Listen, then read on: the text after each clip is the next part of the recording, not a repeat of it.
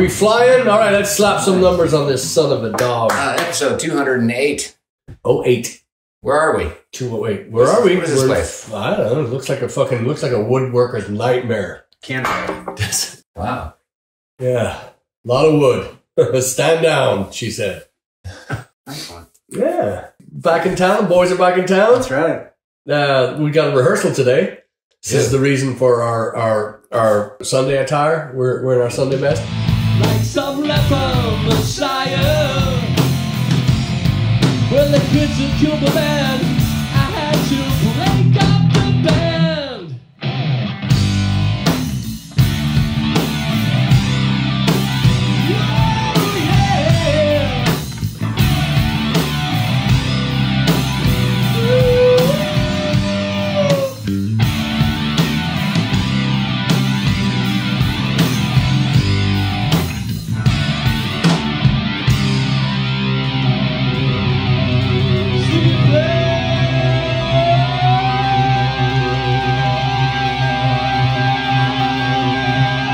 Sunday best on a Tuesday? Chad, Chad, like myself, showing a little leg. Yeah. I like it. I like it. And Turbo's just got back from Colorado. Denver. Yeah. Yeah. Colorado. How was it? It was good. Yeah. Yeah, it's nice. It was uh, one degree. One degree on. Wow. Did you guys share it? Oh, oh, it's for everybody. One Yeah. for everybody. Okay. I stole it. Yeah. I'm not sharing nothing. Fucking cold in Houston. I know. Wow. I mean, this is this has been this has been for a while. But I realized today when I was uh, doing my uh, black ma- uh, my s- s- um, uh, meditation. Uh, no, I was doing my writing. Check it up. Just checking Uh, the angles. Yeah. Make sure. Okay. All right. Um, yeah. It's, it's just how spoiled we are in Texas. You know, you get rain for a couple of days, and it's like, where the fuck is the sun? What does it look like? What you know? What, what, what is it? Then the summer times come. You're like, oh, I miss those days. That's how it was on this trip. I was like, it's Texas is nice. Every time Yeah. I go somewhere, I'm like, one degree? Uh, Oh, man. yeah. I mean, don't get me wrong, it was nice, but it was cold. Yeah. Frozen. Yeah. Like uh like our friends up in Omaha. You know, they're they're they're just that that wind and that just that temperature drop. Snow, fuck that. I'll, I'll, I'll take a few days of rain. Yeah. Yeah. So uh good. I'm glad you had a good time. And Yeah. Chad, you've been working like crazy, nonstop. Every time I call him, he's like, "I'll call you back," and he goes back to bed. I, was, I spent uh, a lot of time with my uh, with mom yesterday. She, uh, as I think I mentioned on the show, she had a knee replacement uh, not too long ago. She, I think she's in her third week since the surgery now. She's doing really great, but it is rough, you know. Good job, Judy. We're proud of you. Her surgeon warned me as well. It's like this, the surgery is easy part, you know. Your knee replacement, it's a, it's a journey. You know, you got Yeah. the first few months are, are really tough. Just getting your body getting used to having this, Yeah. this thing in there. So, Mm. but she's doing good. Is that why you cut your knee? It's in solidarity. Yeah. this is a badge of honor because this, I never used to get whole, I mean, jeans for, for most of my 30s and 40s. The first hole that would form would be in the crotch. My legs would be rubbing together. Now that I've lost Can, weight, can we can we wait, We're back. can we Yeah. fucking censor that, please? Yeah, that's not really why. now I I'm awake and aroused. What the fuck is this shit? this the, this used to happen all the time when I was younger because I, you know, that'd just be the first place that hole would form if the jeans lasted long enough. This is the first time I've had a hole in my knee in probably 20 years. So See regression. that's right. I love it. That's right. I It's love a it. regression diet. Yeah. So glad glad Judy's doing well. We Yeah. are we're big fans of Judy, and she had the knee replacement because of her uh, black belt in ass kicking. Yes. That's what it was. So Yeah. you know, occupational you, hazard. you know, yeah, she didn't she didn't do all the stretches she was supposed to. She just went out and kicked ass, and then came back and so anyway. Uh, Should we do it again or are our brains fried? Um, let's do it again and find out if our brains are fried. Fun. Don't be a baby. ooh, shots fired. Fried baby brains? Fried, Oh, oh, yes, please. fried baby brains? Yes, please. So back to Slappercast 208 on a beautiful Tuesday morning here in sunny Houston. Um, we are Cozy Houston. Cozy Houston, yeah, yeah, That's what I call yeah. And uh, uh, so when we saw you last, we were in uh, no, it was la- la- we- Arizona before. Was it Arizona last? last episode we were in uh, Angleton. Angleton, that's Oh, right. yeah. Yeah. Angleton, yeah. Dirty South. Yes, Dirty South. with Mr. Mendoza, Yeah. who Uh, hopefully will be joining us this weekend. Well, last weekend. yeah, last Saturday, y'all. Don't worry about it, y'all. Yeah. It already happened. Chad's just Chad's just just waking and baking. Edit. Yeah. Although he hopefully will be with us in uh, on Mardi Gras. Yes, he's a couple weeks. Yeah, he's agreed to that. So, uh, drunken monkeys down in Galveston for Oh, Fat cool. Tuesday. Yeah, we're gonna bring bring the mighty Mendoza to the beach, and uh, That'll be my first time there. yeah, and they, they have some. Uh, go go check out our, our website. We got a they got a great uh, poster slash t shirt design that they're doing. Yeah. Uh, Sam, the owner, called me up and said, "Hey, can we use this?" He put our logo on it, so it's a very cool Blaggard shirt with the Mardi Gras drunken monkeys.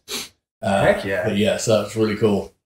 Um, Where can we see that? We have to just there. it's, it's it's on the website. I think Oh. Chad has Yeah, he sent me a picture of it. When Yeah. we're done, I'll show it to you. Cool. Yeah. And that's very exciting. And so I'm off to Ireland. Uh, the reason why we're getting this one done today is because I'm going to Ireland for uh, a few days and uh, for my friend uh, Barry Dunphy's memorial. And uh, we'd also like to say at this moment to uh, we'd drink a toast maybe to our friend Andy Greene, who we lost last week. Um, Andy, we love you and we miss you. And Ashford Pub will never be the same. However, it's still a must see. If you're if you're drinking, you got to go to the Ashford. Great people, great staff, and Andy, to you, cheers. Cheers. Cheers.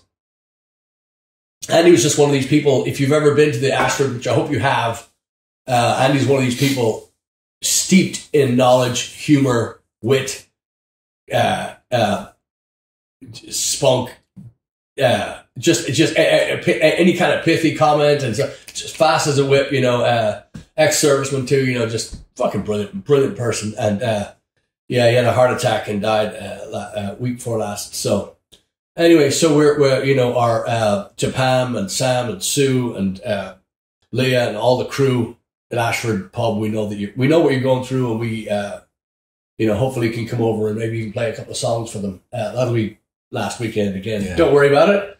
And I, I know you didn't know him, but you probably did meet him quite likely because he was at He the was last there. time we played at the Ashford. He was I'm there. almost positive I did. Yeah, I know you did. He, Yeah. he, he, he, again, put the, put the, put the door open for us, made sure that there was a path cleared to get in and get out, you know, just, just up. And I mean, he, he, again, one of these people that just doesn't, excuse me, one of these people that didn't, uh, did, you know, never met like our friend Jeff Quinn, never met, never met a stranger.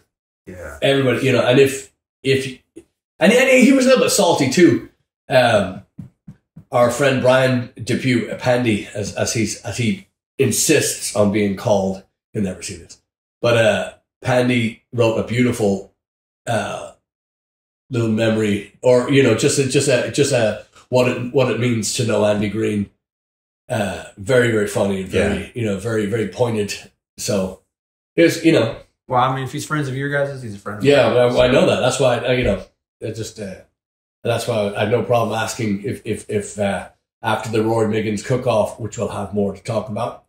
Uh, you know, if we wouldn't mind going over and turn up first. Yeah, me, I'm in.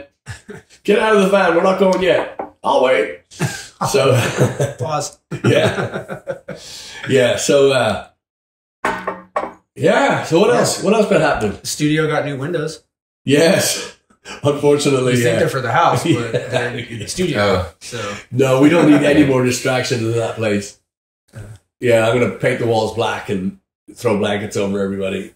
when I first opened the door, I went, "We're putting in windows." Yeah, I was like, yeah, "This is it!" yeah. I was excited. I'm like, "I'm gonna get to work over these couple weeks." Yeah, Unfortunately, the, the windows are for the house, and the studio is gonna have uh, it's gonna it's, it's gonna have to have some kind of some kind of work done on it. It's mountain, yeah. mountain crap more in there right now. So uh, what else, what else happened? Well, Oh, one, I will say one thing about Denver. I went to the Red Rock Amphitheater. I've never been there before. Oh, cool. Dude, that was. I was like, let's go walk to the top. You know, that's not that far. That was way harder than I thought. oh really? way harder than I thought. As I was walking down, I'm all, man, I was like, I could feel my legs. Even Stacy, I mean, she was like, uh. But uh, that was a cool place. I'm like, I want to see a show there. That would be. yeah, I'm like, okay, I want to play a show. let's play there. Yeah. Yeah, I was like, this is. how do we get there? Like that would be. Is the entire seating area carved out of the rock? Yeah, they do have like the benches Right. in it, but it's all the rock. And they're like adding to the top. So they were adding brick and stuff and stone up the top. I don't know what they're doing, or it almost looked like they're building like another layer up top, but it was all, I mean, everything. It's, oh man, I'll have to show you these pictures. It was, Yeah. I took some video too. It was awesome. And then there was this one guy. post them- post Yeah, the one one guy was uh, working out, like he was running and then doing these like inverted push-ups, and I wanted to videotape him. I was like, this guy was superhuman. Su- I've never seen him like it. He was just Did you find it hard in your lungs? I think a little bit. I don't know, not as much as they kind of thought. Yeah. it's more of my legs where I was like, oh my gosh, but uh, it wasn't too bad. It was just so cold, so I think some of it was like hard to breathe. As it was just Yeah. it's like by one degree. It was so cold, but Gosh. yeah, it was super cool. Yeah, add some of those photographs if you wouldn't mind. I will. That was it was fun. Yeah, and you, you, you, you know, if Stacy, uh, the the the lovely Mrs. Newton, if she if she was having trouble, then anybody would have trouble because I, I think that's about the the, the most fiercest That's what I woman said. I've ever met. She was going ah, and I go, oh, I'm toast. Yeah. I I'm toast. yeah, but no, we had a good time and uh, um, did some good restaurants out there. And yeah, man, it's a cool town, cool place. I mean, not a town, city, but we Yeah. of did the touristy stuff. But man, it was super fun. yeah. We played Denver one time and uh, didn't found it underwhelming. It was a it was again a Tuesday. It was a crappy night, and uh, it was a decent club, Herman's Hideaway, and it was. Uh, Yeah, they Yeah. recorded our show too. Yeah. they did video and audio. It was actually looked and sounded really good. yeah, I Oh, remember the stage being good, but yeah. So We'll have to get back there. night. yeah. I mean, I'd love to go there. Yeah, well, again, it's it, everything is within earshot, eye shot, band shot. Mhm. You know, when, when you're when you're when you're ready to, you know, because I mean, my, like I've said before on many times on this show, you know, 12, 15 hours is very easy and very.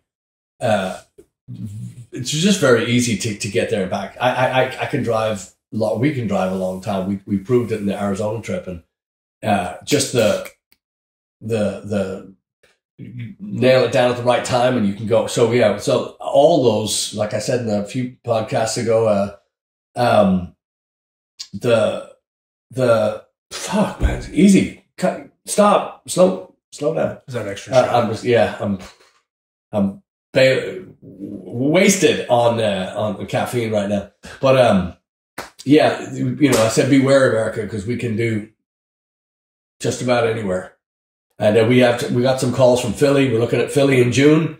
We've got some calls. We've got some new T-Bone Tom's dates added. We've got um, we've got a great festival coming up in April, and more on that later. Um, uh, in, uh, it just it, it's out two ninety. So our friends in McDade and Austin, it's kind of close to you, and uh, it's co- close to our college station, and you know North Houston friends. So it's gonna, uh, but it's gonna be that's gonna be a really good one. Is that that show we talked about? Yeah. Yeah. Cool. Yeah, I, I I have to commend you on that too. Uh, Turbo had had a family vacation planned, and the date had uh, gone onto my personal calendar, not the band calendar. So I called Turbo and I go, "Hey, just want you to know, I, I promise these, you know, I promise this thing. We're we're we're going to keep our word, you know, when we promise to do a show." Uh, and I just want to say that you know, we're gonna have to get somebody else because I know you're. He goes, give me one second. He gets a phone call, calls back, goes, I'm doing it. Shut up. so I commend you for that. I just, all good. yeah, and yeah. So, so just a lot of really fun things coming up. We've we've nailed down Lake Worth thanks to our friends uh, uh, Sean Hanley and uh, Keith Michaud in uh, in Lake Worth. So we're going to be playing the Irish Brigade on the Thursday before we do Friday, Saturday at Celtic Conch in Key West and that's going to be a six to ten show now versus uh, I think they had us from nine to one. So six to ten because it's a rooftop gig, Oh, cool. and you get to watch the sunset. And being on the Keys too, you have that three sixty. It's going to be very very wonderful. I can't wait. Yeah, fun. I'm I, I'm excited. I'm- yeah. I'm excited too. We want to thank Laurie uh, and Chad as well for doing the the all the the legwork on the hotels because uh, hotels typically run about 150 a night, you know, for a double room. Key West, March 2023, 500, 700 a room is not, I mean, that's just, Bananas. yeah, but that's just middle of the What it is. road. That's what That's is. not, that's not sleeping in a fucking paper bag in middle of the road. You know, it's, it's, you know, so that's standard. So, uh, Laurie, uh, Merch Maiden, shh, you know, knocked out of the park, you know, again. So with, with all the legwork done on that. So, and then Sunday up to Punta Gorda, uh, to the Celtic Ray, which another rooftop. Uh, we, we won't be playing on the rooftop, but they have a great rooftop, uh, seating area. And it's just, I mean, just, you know, Florida for as, as, as crap as the food is, it's a decent, you know, it's a really, really nice place to, to go play. And Are we leaving today? Let's go. I'll fucking go right Let's go. What are we doing? Yeah, I'll go right now. Dude. yeah. That's the thing about the calendar. So I'm, I'm looking out at the calendar, I'm like, oh, it's awesome. But I'm like, oh, I have to wait that long. Yeah. Like a child. I'm like, uh, I can't Yeah. wait that long. Give me the candy now. yeah. I love it. That's, yeah, So that's, another, that's another good one. Hey, wait,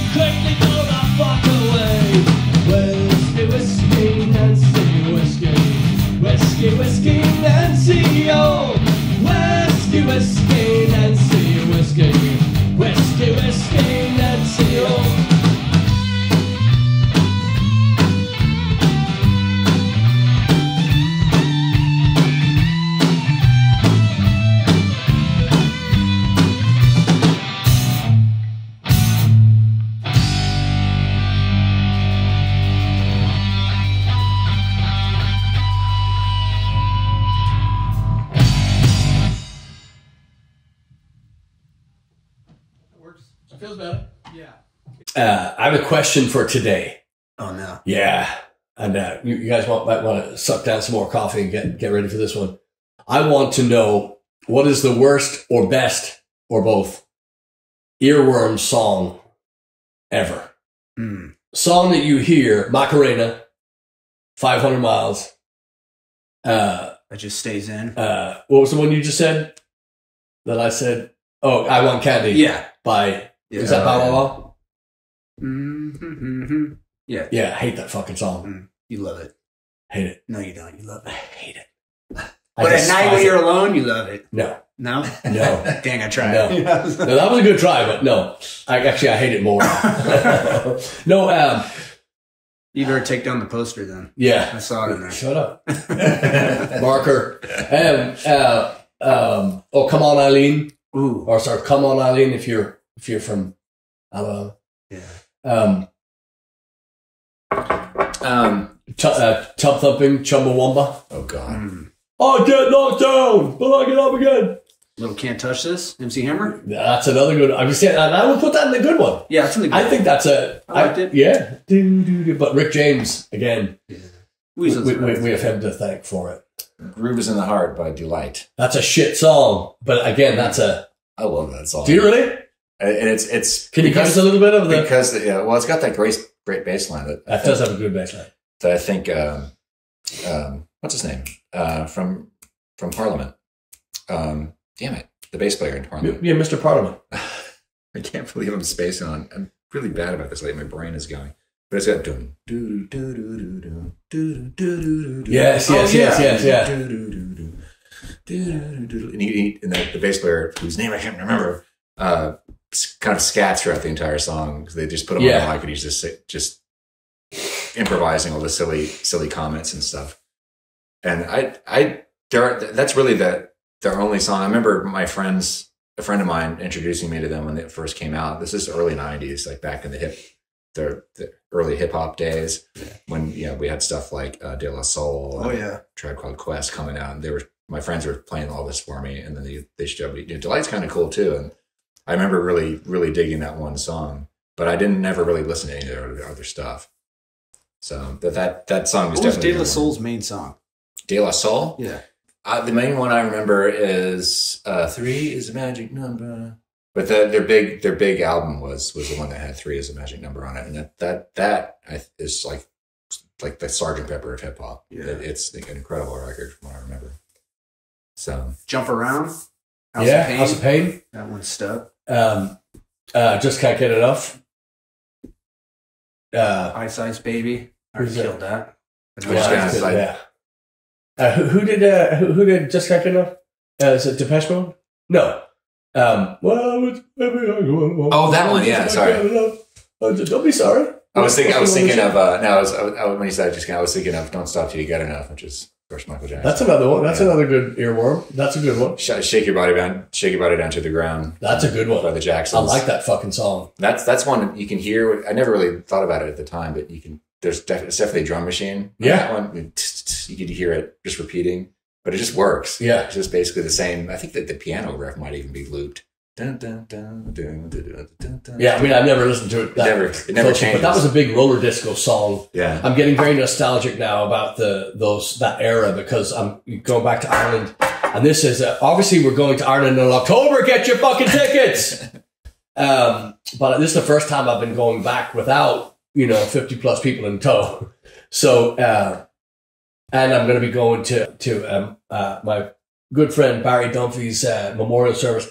Uh, or it's a not. It's just a get together. All our friends are. Uh, it's one of those things. Good friend dies, and you kind of realize, oh, yeah, we're at that age where a lot of people are dying, and you know, a lot, of people. Are, and this was out of the blue. This was a, this was a healthy, just a wonderful young young fellow my age, um, two kids, wife, uh, and just out of the blue, gone. So, uh, but I'm getting very nostalgic about you know because I'm, I'm getting to uh, this time I'll have some time to you know stay with my mother and uh, visit family and friends and you know just see so so, so those those songs bring back that roller disco time when I my, my very early teens uh and, and those uh, that those songs with that great up tempo you know that 170 beats per minute 150 you know that you know Yeah. that that earworm stuff that I'm talking about that stuff was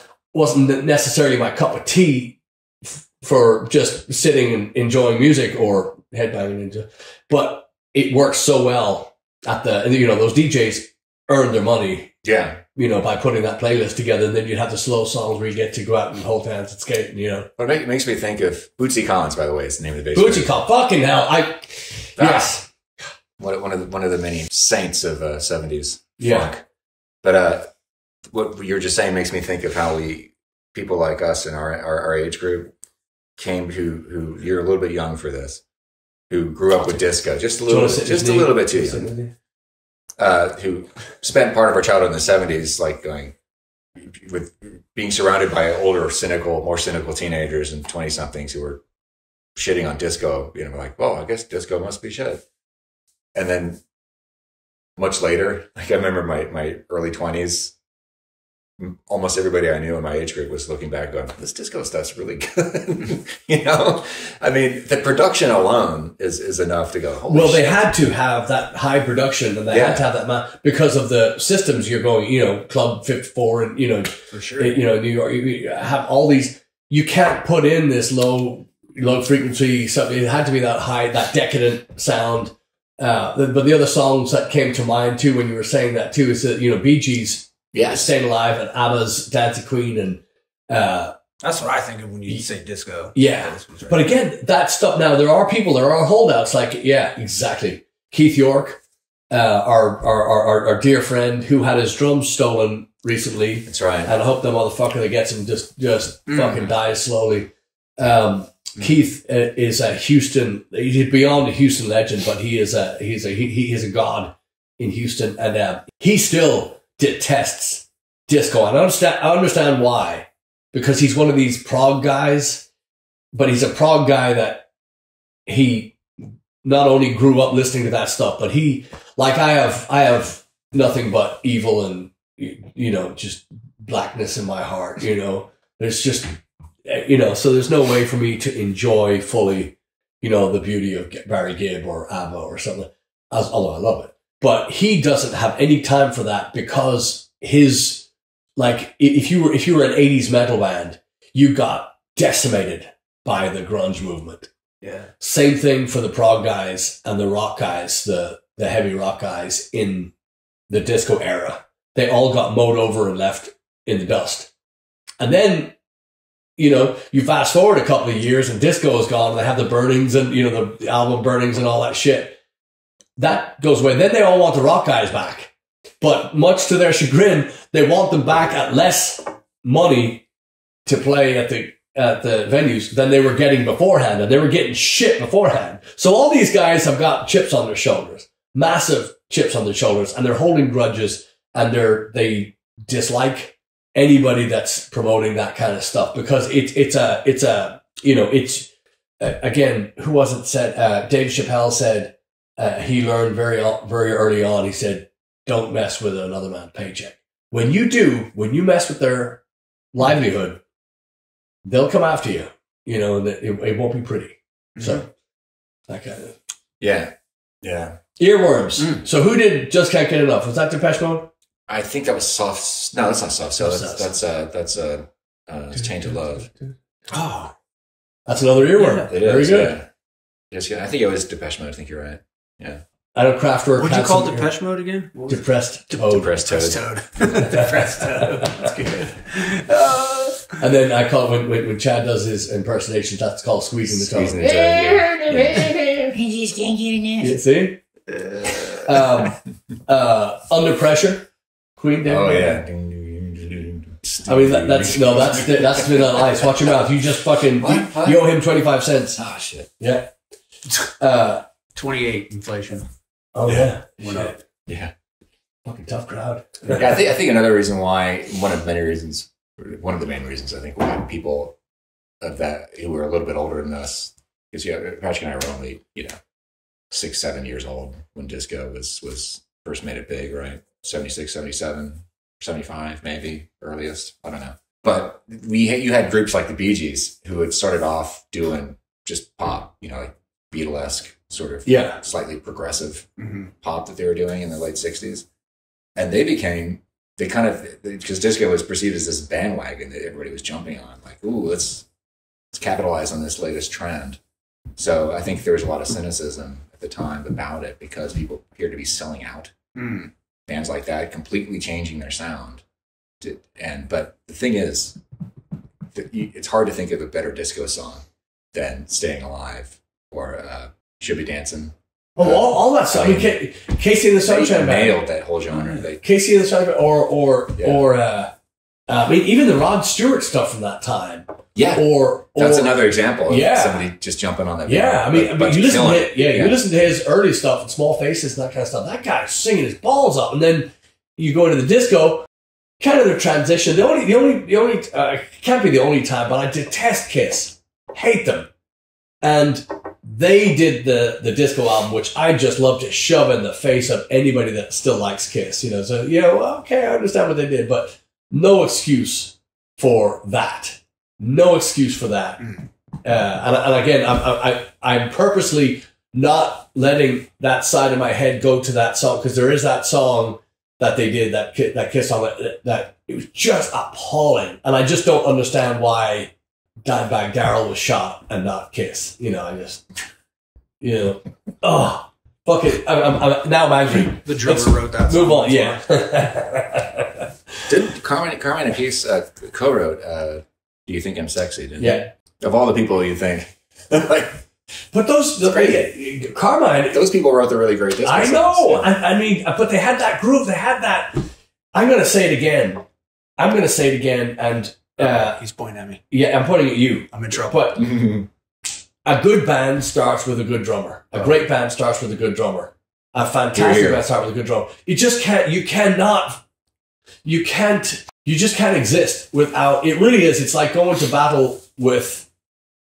It's like going to battle. You know, with Like a shield. or no, just or just just dimwits. You know, it's just or or, or you, you, there's just no way around being being nasty, and so I'm gonna I'm gonna try to be nice. But it really is. It's like it's like purposely handicapping yourself, like tying one arm behind your back, and you know, getting into a fight. It's just there's no there's no. That was so tame. I feel I feel like I just It could have been better. yeah. But anyway, but that, that's the. Speaking of that, end of the world comes. This is a good one. Oh, God. This is a good one. End of the world comes. Look at his eyes. Yeah, It's good I'm fucking serious. Yeah. yeah. He's serious right now. End of the world comes. Give me one famous person that you want to take with you. You- Okay. It's the end of the world. You got to pair up with somebody. Give me a famous person you want to, you you want to go to battle with. Like who I'm riding or dying with? Yeah. And don't say the lovely Stacy because No, I want you- she'll kick all around. She'll Yeah, she'll no. she'll take yeah. That's So what I was gonna say- say, but then you Yeah, do not say that. Do not say that. Yeah. And you don't say it either, and I won't say it. all right. All right. We she's the It has to be somebody you're not related to. Yes. There we go. Yeah. Famous So- person. Famous person. Who what famous person would you take right now? Living or dead, right? Well, the dead ones are kind of they fucked up on toast. No, I'm just kidding. You're no, dragging yeah, that one it, around. it, the dead ones in their prime. Who would you take? David Bowie. In a fucking heartbeat. yeah, you're not Why? surviving. Do you want to sleep with him? You want to fuck him? Is it like Walking Wait, wait, Dead? is Like, question? No, I'm talking yeah. about. Is it Walking Dead? Like we gotta fight zombies? Like, we, or we just somebody I gotta talk to and hang out with? End of the world. You got to survive. You gotta survive. yes. So I'm just wondering. What, what, Yeah. is he? I mean, is he? A, is he an outdoors? no, but just because he's no, I wasn't even thinking about that shit at all. Okay, sorry, I should have said that. Okay, scrap David Bowie. Sorry, David. Yeah. Why? Why are we taking picking musicians? Though, for this? No, no, I didn't say musicians. I said famous person. Oh, famous. Okay, I'm just thinking Famous person. they're all musicians. Uh, famous person. Okay, what? That's what that is. uh, So we're literally okay, so, literal so start again. So end of the world. You need to survive. We got to pick somebody that everybody knows. D- so yeah, no, no, sorry. I, I, again, I'm way. I'm light years ahead of I'm everybody. thinking, right. I'm thinking about going into the afterlife with somebody I, I want to actually talk No, to. no, no, no, no, no. Who are you sorry, picking? sorry. Well, when you said when you said you know ride or die, I was saying who would you you know who would be the that person? Yeah, that who's swinging the hammer coming in all, you know, I'm thinking, who's, Well, uh, the, the the person I'm thinking of is a musician, and uh, what, what ju- I, one of my heroes is David Lee Roth. Uh, I, I uh, his book Crazy from the Heat, his videos that are he does these podcasts. I don't even know if there's any set time for them to come out, but he'll come and there's no beginning and end to it. He just comes in and he does, and every word in there, he may embellish a little bit. He may add a little bit here and there, but he has done everything. Rock climbing, uh, just got lost in the jungle, literally into the into the Himalayas, into the depths of Africa. I mean, just if he wants to, if he want, you know, and his survival uh, tips are beyond reproach. I mean, you just cannot put into words how he does. But his stuff again is kind of like I'm feeling now. He is Yeah. like I'm feeling now all the time. David Roth is 100 miles an hour at the fucking max all the time. It, it but and, again, even if it's not 100% factual, even if he, he he decides to add a little bit for the for the tale, for the color and the size and the the enormity of that tale that he's telling, I still want that guy because because there's no I can't in his vocabulary. Yeah. Yeah. Plus, he knows CPR. and he and he was a medic. He was a medic. So again, that was that was my Yeah. that was my you know you said right. I was like, oh, okay, end of the world. So you got to fight your way. You want to survive. You don't want to just fucking give in. You want to go. Who's who? Who you got? That is one of the oddest tales in rock history. Is that that period where he actually learned CPR and worked on Ian. Not really. And, oh, and, oh, only because his. Who else in his stature? Well, but that's what I'm saying. The, the reason why I disagree is because his dad was a was an optometrist, and he, from an early age, his dad would bring him to the hospitals, and Dave was uh, immersed in the in the in the care in the the, the care of others. You know, the and, and he really does as as as he is all the time. He is big as heart. Doesn't have uh, although he's got the DJ thing going on, uh, David on top of the world, blah, blah, blah, you know, he's still got the the the uh, you know the, the the framework that he's built on is all hard. It's all so so yeah. He was he was immersed in this, so so he always wanted to help, and you know again the energy, the the the, the, focus that it takes because when you talk to him, there's no focus, but there is. Yeah. He you just can't follow him. Well, I mean, the, the thing for anybody to go from from somebody who had as much money as he had, and I know this was during a period where he wasn't doing stuff with Van Halen, so he wasn't as successful, but still, he was getting tons of royalties. I'm sure. I would hope so. Not, not really. yeah. That's in the book too. You got to read that book. Right, yeah. But for, for anybody who has come from that to go into that kind of work, which is that's really hard work. It's not just the, the, the challenge of learning how to actually administer medical uh, treatment to somebody, but but being on work, working in an ambulance and going in that's that's dirty, potentially scary, dirty, dangerous. Yeah, work. and, and you and you're dealing with It's mental tough. illness Yeah. a lot of the time. So that's amazing to me. Yeah. it's just amazing. And he he is another he is another he is a if anybody out there is is is, is friends with Diamond Dave, pass his information on. I would I would just kill Yeah. to have five minutes with that guy. Five minutes. It would end up like like uh, the movie Misery. He'd be ended up being tied to a bed. I would go, tell me another story, Dave. I want to know. You tried to run away. Yeah, yeah, yeah, yeah. I was Oh, thinking knee replacement. I was thinking uh, survival. I was trying to think of musicians I, I like who who are way more savvy than I am at surviving. Steve Earle comes to mind. I don't know how outdoorsy he is.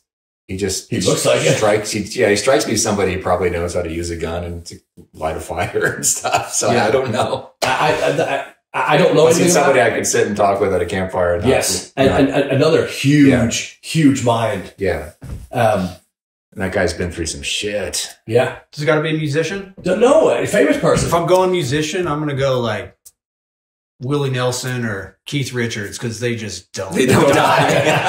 they just. but can they keep you alive? I'll keep them alive. All right. I don't know. All right. I would think. I, I think I also thought of Harrison Ford too because he he does he has saved people's lives because Yeah. he, he's a helicopter pilot too. There was this famous story where he rescued two hikers off the Really? base of a mountain. Yeah, How do I not know any of this stuff? Yeah, Well, I because grew up you- in a cave. so I'm going Chuck Norris. that's assuming there's helicopters. Into the in world apocalypse. is afraid of Chuck Norris. That's where I'm going.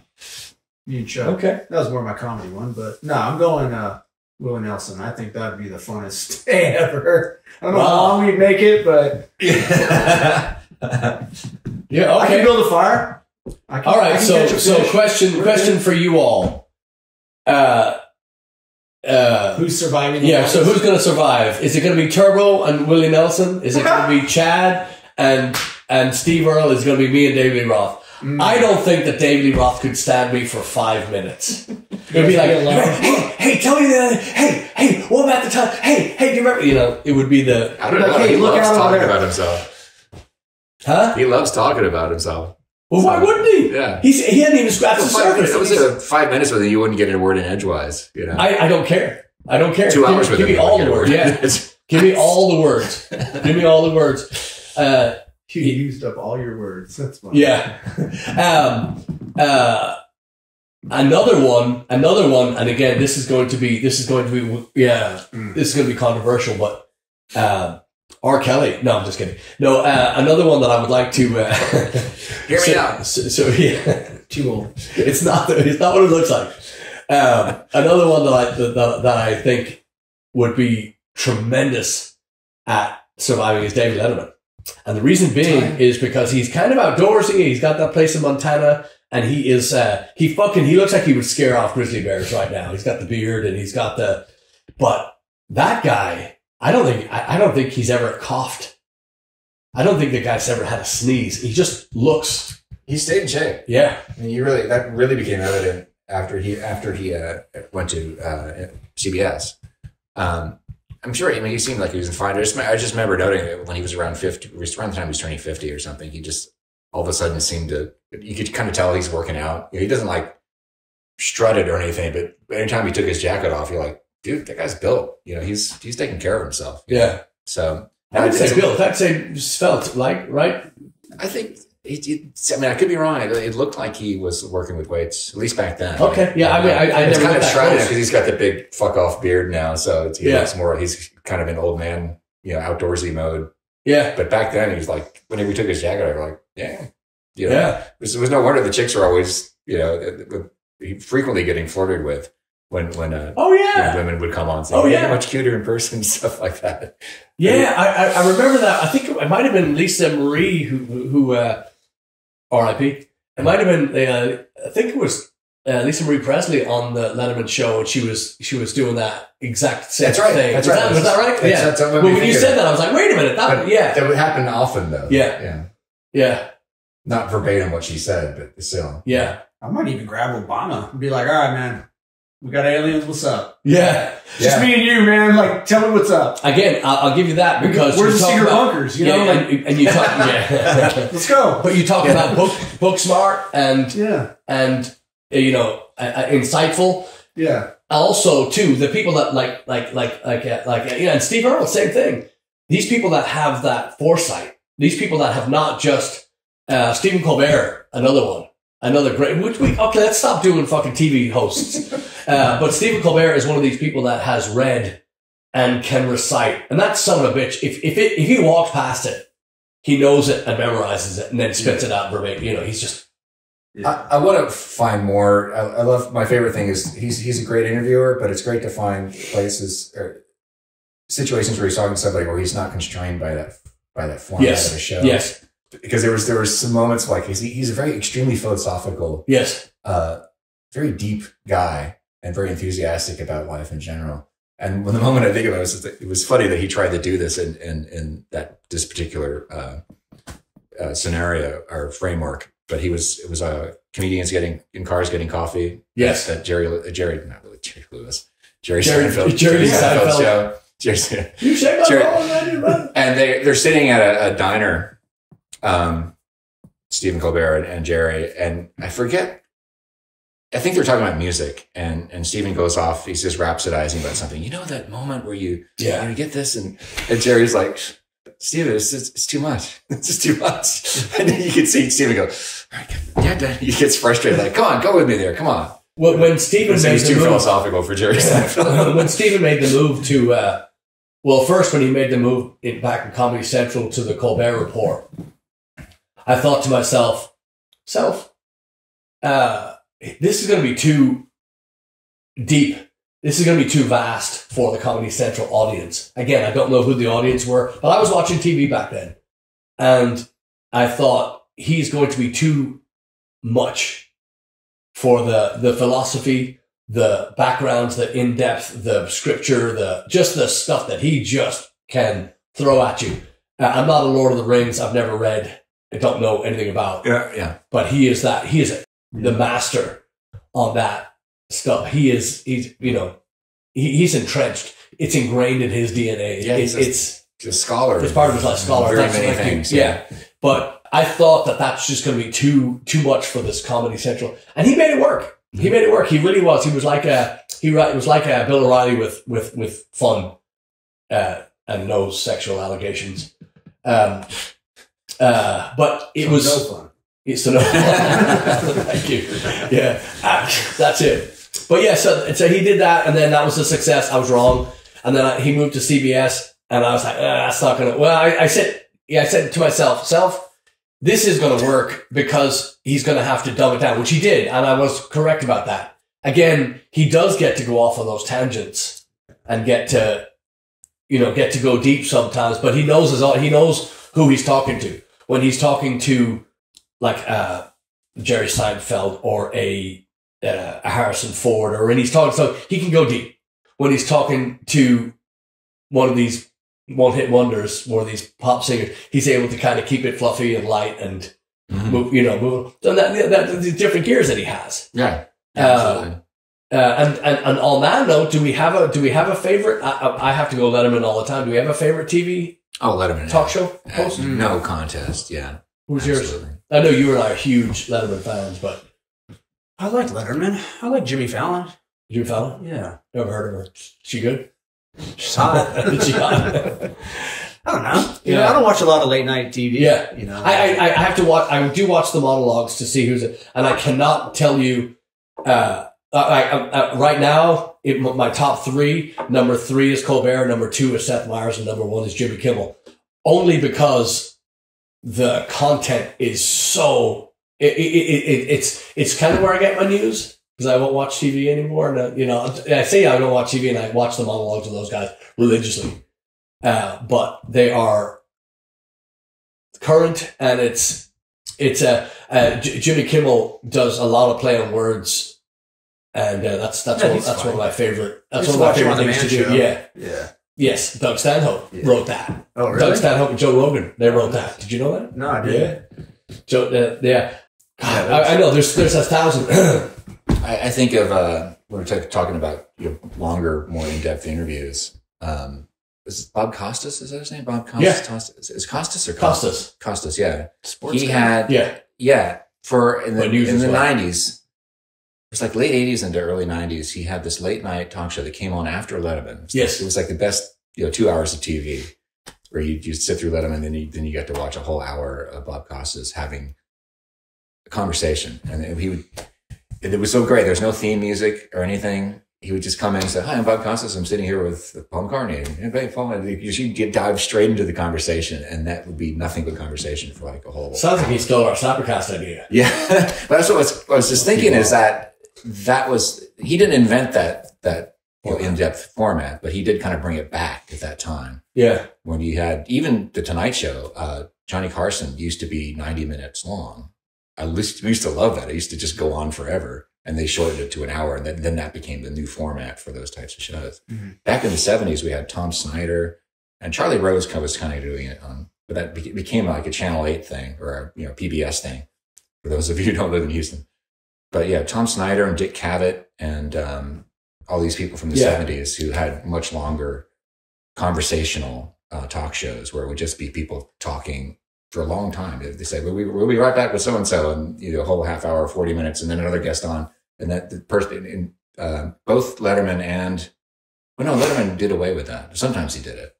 But Johnny Carson always had all the guests stay there throughout the entire show. I remember that. And that's how the Dick Cavett show They would kinda be back in the day. And the Michael down the Douglas, Michael Douglas was not the actor Michael Douglas, but the talk show host Michael Douglas. You'd, you'd have uh, almost like a panel of guests on each show. They still do that. Like that's more popular over in the UK and Ireland now, I think, than it is here. Huh. Um, Yeah, all those names are foreign to me, but the the you know I, I, I and I never watched David Letterman. I, I can't say never. The early David Letterman show when he was on was it NBC first? NBC. Okay, Well, I never never saw it on that. Okay. but, but I, when he when he went to C, uh, CBS. CBS, I, I I watched the a- again the monologue guests and the music acts did not appeal to me much. Yeah. Um, oh, you would have loved the, the original era, Yeah, that stuff. Cause that, the band too, that's when we had, um, you know, the, all the, the same still core members were there. It was, you know. Sid McGinnis and, and Paul Shaffer, obviously, and Willie and, uh, um, the drummer, uh, Anton. yeah, Yeah, Anton Fig. Uh, those guys. Sometimes Anton wasn't there, sometimes it would be a different Yeah. drummer, but it was always Will Lee, it was always Sid McGinnis, it was always Paul. And they were tight as hell. And it was the same kind of format, it was just smaller, you know, smaller band, um, longer conversations most of the time. and again, I've always said I've always said my favorite band of late night TV is the is the Dave Letterman's. Oh, absolutely. I mean, always, always, always heads and shoulders above any band that's ever. I will say, I- I'm not a Jimmy Fallon fan, but The Roots, Yeah. great fucking band. I love that drummer, Yeah. Questlove, but uh, Yeah. I, I'm just not a. I'm not a. I, I just I can't watch. It. Just Anyway, anyway, I think so it's uh, funny. I think it's just the smile, like the way he presents it. I think it's the way he laughs at his own jokes. yeah. yeah, I need that. drives me fucking crazy. It's He is- funny. Jimmy is as, as much. I don't think Jimmy's very funny, but he's he's a good interviewer. He, he Yeah. does have good conversations. So. Well, I'll let you guys alone with that. Before we get too far afield,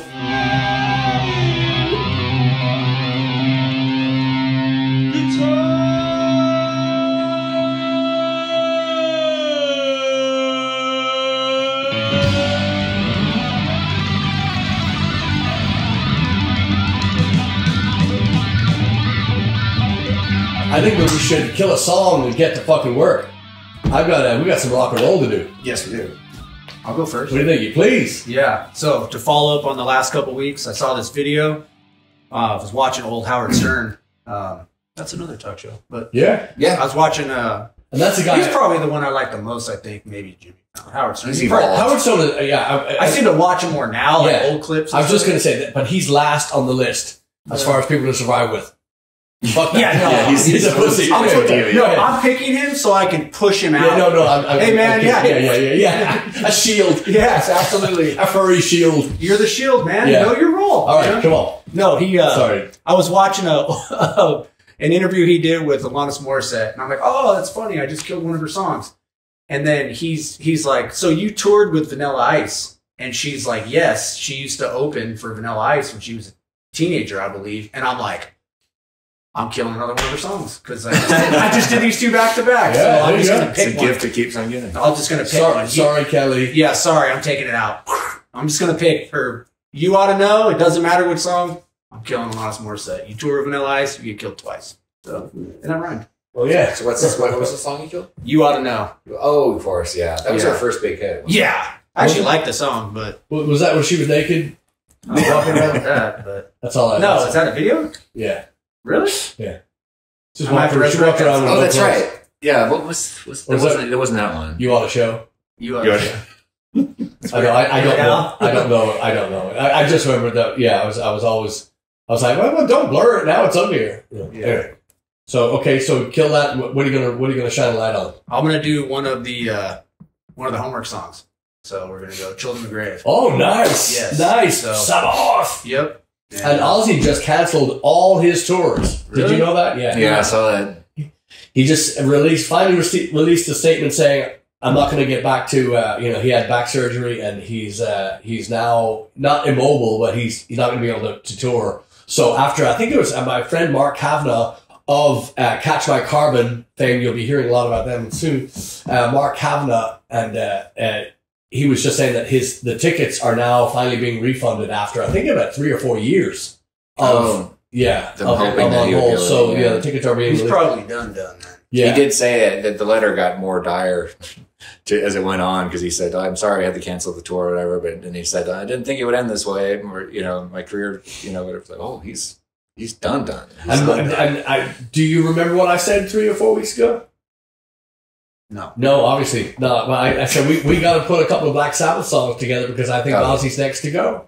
That's yeah. I did say that. Just- Oh yeah. Well, Ding! hopefully now maybe he won't. Maybe he'll. I write down all I write down all the stuff when I'm right because I'm usually wrong. Maybe now he's he's giving himself a rest. Maybe he'll hang on a little bit. Not to, not to tour. But Yeah, yeah, yeah. He says So, he says that's he can you still need. sing. You need the shirt. Children of- self, and on the back, I'm right. I, I bet Oh, you. yeah. Told self, Yeah. self, I'm right. I bet you he does some more albums though because he. Oh, yeah, he- yeah, He yeah, can yeah, still yeah. sing. He just can't handle the pressures of touring anymore. So. Yeah. Yeah. All right, Chad, you're up. You're Uh, up. I'm killing, as I, as I warned him when I walked in, I'm killing a whole band because I don't remember any of their song titles.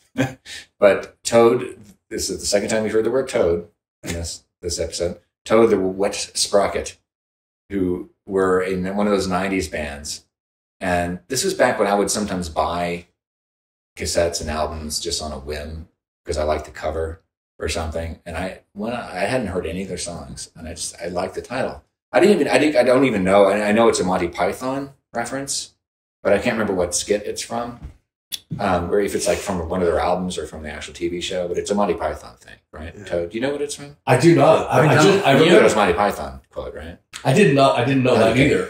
But I hate, I hate the band. I hate the name, but Well, I I like Yeah, the know the name. band. I like the name because I thought I thought it sounded like a band that I would like. It sounded like a weird, I don't know, like a Talking Heads thing or a Frank Zappa thing or something. I didn't, didn't know.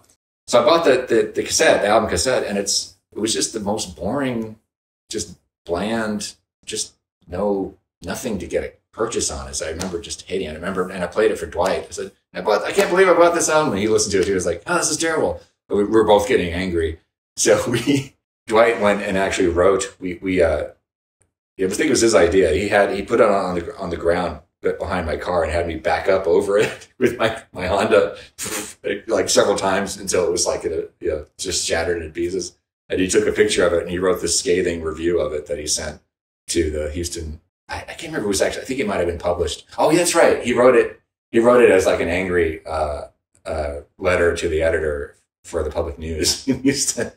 And I think they might have actually published it. Dude, that's next level, Ken. that is. I was going to say that's a. I'm going to stay in his rights. I don't, don't let him hear Black Magic. I Please. forgot about the, the smashing the tape tape cassette with my car. that's a long game right Yeah. there of killing a song. I really asked Dwight if he still has that picture or that article he wrote. He should have sent it to Classic Rock Bob, Bob Ruggiero. He should have sent it in. I, I think it was actually published. It might, maybe it was in the Houston Press. Maybe it was in the Houston Let's Press. ask Bob. Anyway, okay. Enough about that. So I'm, I'm, I, I've, I've debated about this because I've, I haven't actually resurrected a song by Robyn Hitchcock before. I don't think I think. No, no, maybe not. I've talked about I know it. you talked about it. Yeah. Yeah, but there's an album of his called Queen Elvis. Great title. which ironically there is. He does have a song called Queen Elvis, but it's not on this album. it's just some weird decision he made. But it's a really great album. This was back when he had the, Egyptians, which were his backing band, which was trio. You had, you had Robyn on guitar, you had Andy Metcalfe on bass, Morris Windsor on drums. And Andy Metcalfe is one of those bass players who uh, is not often talked about. I would say underrated. I think he also played with Squeeze for a while. And he often, with, with Robyn anyway, he often would play um, uh, fretless bass.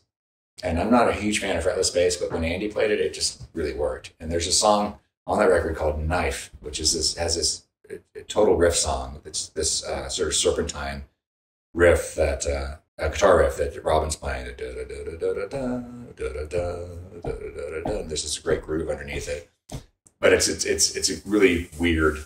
I always you always hear me talking about weird songs I love, and this is Robin has a lot of those, but this this song is one that I think really uh, is worth listening to. The whole album is is great, um, and it's uh, I, it's one I hadn't really listened to in a long time. I'd kind of forgotten about, but yeah, good stuff. Excellent. have to check that out. so my kill. Have we killed Jesus Jones yet? No, but you should. Yes. Fuck is is uh, uh, is that right here right now? hmm Yeah, that was their big right around the same year. I think. Yeah, that's what that's what I, that just kind of came to me, and it was I'm gonna keep my other one for later. But hate that song, hate that band, hate that name. Jesus Jones, get the fuck out of here. Right next, and then to uh, uh was in fast. huh? That was quick. You're welcome. You're welcome. Um, It's the end of the world, man. You gotta be quick. That's right. That's right. Fast, fast your feet. No slack. Um, I'm also going to say uh, in, in uh, uh, as a tip of the hat to uh, to uh, Barry Dunphy, the late great wonderful friend uh, Barry. Uh, I'm going to uh, resurrect an Ozzy song. Speaking of Ozzy, uh, I'm going to do uh, shine a little light on the the, the the the album Diary of a Madman. I thought was very uh, Ozzy was a huge Beatles fan, and he uh, not only paid homage to them, but kind of slightly ripped them off. Uh, who who didn't, right? I mean, who didn't? You know, you know, you hear about all these just monster players that their first time seeing Beatles on the Ed Sullivan Show changed a lot, when they ran out and they started that. So the Beatles were so um, uh, instrumental in bringing all these bands all these the, these massive talents, you know, to the forefront and to you know and starting people's careers. Uh, and Ozzy being one of them. I don't know if that was his moment uh, for to, to to check. But anyway, so so the album uh, Diary of Madman has a lot of. Uh, I was going to pick a song off it, but I think I'm just going to do the whole record.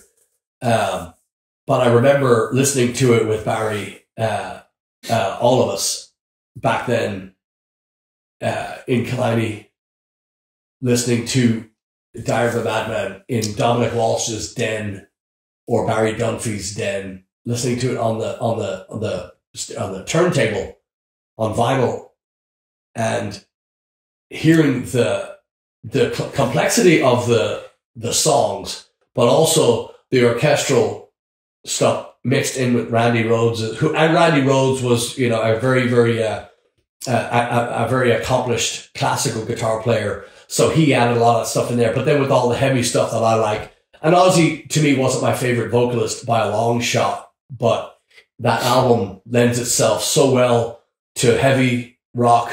I wouldn't say metal; I'd say heavy rock, uh, and, and very, very uh, classical,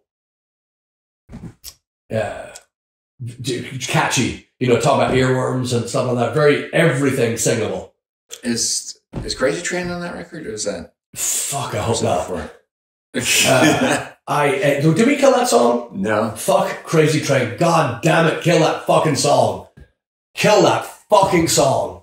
Push Uh, up the zombies, man. And, and and not just not just because I've heard it. You know, you you heard it all over the radio, but all these stadiums decided to take it on. Oh, hate that fucking song. Um, so bad. Um, oof, God, I hate that song. Um, what's what album was that on? How does he really feel? Ugh. Oh, he's he, he's angry now. Uh, new depends, please. Thank you. Uh, no, it, awful, awful shit. But the the the the, the Diary of a Madman, uh, what else is on there? Mr. Crowley. Uh, uh, oh, I'm coming home. no, no, no. That's all. That's all later. That's all Zakk Wylde. Mama's I'm coming Oh. home was actually uh, written by Lemmy Right. of Motorhead. Yeah. So uh, and Zakk Wylde again, not one of my favorite guitar players, but that song uh, and and uh, Ozzy and Zakk Wylde's early collaborations uh, are, are are worth checking out. Uh, Zakk Wylde is a great tone player. Uh, he's now on tour with Pantera, which I'm against. Would I go see them? Don't know.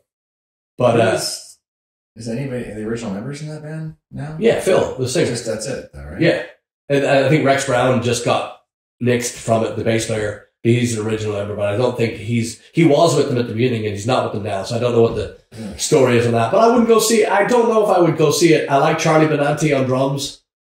Uh, I just I, I just wish that somebody would call Alex Van Halen and get him fucking playing again Yeah. because that guy is uh, guy. That, that guy is too good to be sitting at home. Mm. Uh, sorry, I, I, but uh, yeah, let's let's let's wrap this thing up. All right, are we good? Yeah. Okay, so we're we're uh, we're we're working on an Arkansas date for March. We're looking at Longview for March.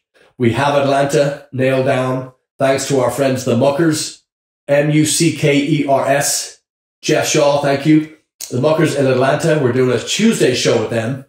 Uh, Wednesday we have a travel day. Wednesday is a travel day. Thursday Lake Worth, Irish Brigade. Friday, Saturday Celtic College, Key West. Sunday uh, Celtic Ray, Punta Gorda, and Paddy's Day. Paddy's Day. Paddy's Day. Chris Steele of Annan's Tap House, College Station, Northgate, Texas. Yes. 2023. Paddy. Oh, ho, ho, ho. cannot wait. And before that, uh, next week for you people, uh, February 18th, uh, Great Guinness Toast in College Station. College Station. Yeah. The warm up. Paddy's Day. Piss up. Pre Paddy's Yeah. Day. Piss up. Yeah. It'll be fun. So are we good? Think We're good. Let's go rock. That was a long one. I think we'll have to uh, cut this in two, she said. anyway, Slappercast, thank you for uh, hitting subscribe. Thank you for telling your friends. Thank you for being you. Thank you for uh, having uh, a couple of extra shots with us today. We're very, very, very happy to have you along and uh, check out our schedule for the for the shows coming up. And yeah, we're ready. We're ready for you. Cheers. Thank you, y'all.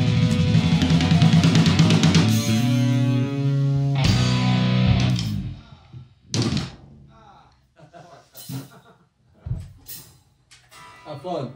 Oh, Okay. That was fun, gents. I was like, we don't have a double bass pedal. That was fun. That's fun.